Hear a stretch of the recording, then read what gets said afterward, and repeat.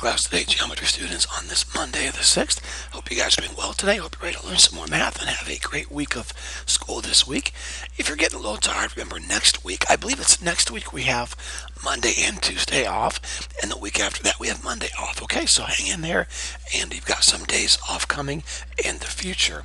Here's your schedule for the week. Homework today, quiz and review sheet tomorrow, review sheet Wednesday, notes Thursday, and a um homework on Friday. There's going to be a test. Um, it says Tuesday of next week. That's not right because I forgot there's no school on Monday and Tuesday. So the test next week will be Friday. Okay. Um, now, I, listen, guys, like Mr. Era, why are you making us wait? I would give you the test on Thursday but I'm not allowed to because it's Wednesday night studying, which is a church night. Friday, there's already two tests on the test calendar for you sophomores, okay? Now, if the entire class, 100% of you want the test on Thursday, that's fine. I can do that. But we're, we're I'm planning on starting chapter 9 um, and you won't take the test until next Friday because there's no school on Monday and Tuesday. And um, I don't want to give a test on the first day back on Wednesday and Thursday. I'm not allowed to give you a test. So, test a week from this Friday. Okay, I hope all of that makes sense. Now, you have nothing to turn in. There was no homework given to you on Friday. Incompletes, Elizabeth, uh, this was given on Thursday, lesson 8.5, due by tomorrow, or it will be a permanent zero, okay? If you have any questions, contact me. Remember, no matter how many days you're absent, if you're in the room on the day of a test or a quiz, you will take it unless you contact me before the class period starts. Now, today, we're going to work on homework that covers what was taught in class on Friday. Here's the homework. It is due tomorrow. Please copy that down, okay? In this assignment, please do not just write down answers, okay? If you do not completely understand why an answer is what it is, please use the help video. It's very important you do that, okay? And there's the help video, about 42 minutes long. It'll be tough to get this done in class, but you might be able to. Here's the A averages, same as last week. Ethan, Lachlan, Abigail, Andy, and George, okay?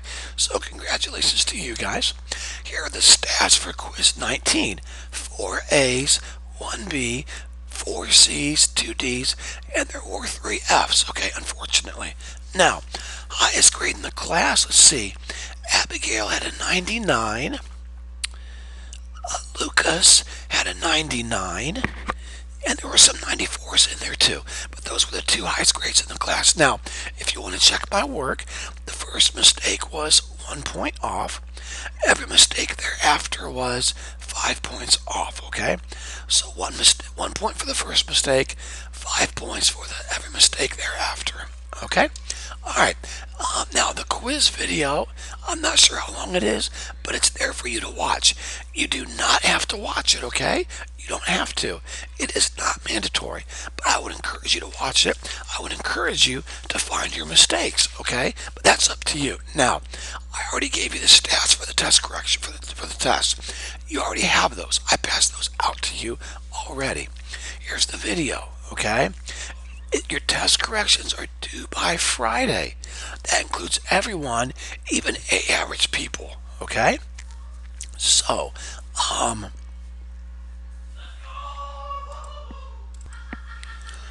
okay, guys, sorry, my uh, kids are watching the Super Bowl and uh, New England just won. So they're all yelling. Okay, anyways, back to the video. So, test corrections are due by Friday. That's everyone, even average people. Everyone does test corrections, okay? All right, let's go over tomorrow's quiz. So, please get out your notebooks, and here we go. The quiz tomorrow covers 8.5 and 8.6, all right?